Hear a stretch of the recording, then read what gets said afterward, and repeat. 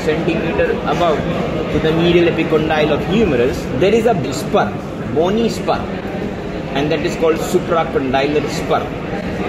Above to the medial epicondyle, on the supracondylar ridge, above 3, 4, 5 centimeter above, you find is a bony tubercle or a spur.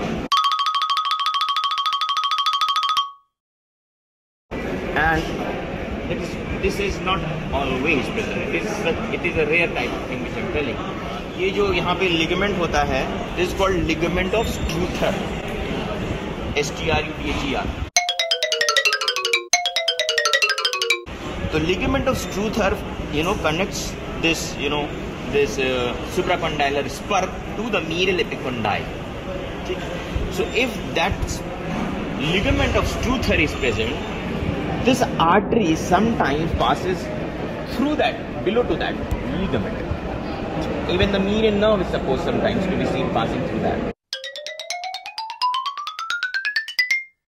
So what happens? There are chances of compression of this artery, and that will lead to ischemic changes in the ischemic and trophic trophic changes. That is actually ischemic because when there is a loss of blood supply right from the congenital thing, right in the beginning. So what will happen? Tissues will develop less in size, will be smaller in size, muscles will be weak because right from beginning blood कम मिल रहा है ना तो इस वजह से ये बता दिया ये रेयर है बट नॉट वेरी रेयर